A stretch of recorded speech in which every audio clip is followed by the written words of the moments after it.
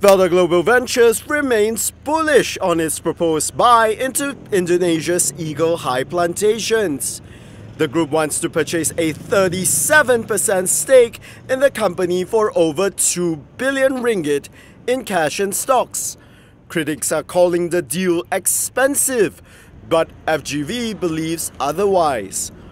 CEO Dr. Mohammad Emir Mavani Abdullah says the deal will enable the company to gain an advantage over its actual and potential rivals.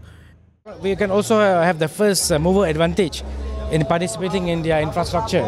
Yeah, very very positive because not it's not only kita dapat the plantation, FGV directly is also going to uh, supply our seedlings, our fertilizer, and we are also going to be involved in the trading of the oil in Indonesia.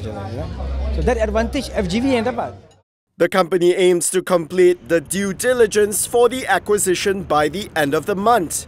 Emir was speaking at an open house where he handed over the reports of the visit to PT Eagle High Plantations, Indonesia, to settle representatives.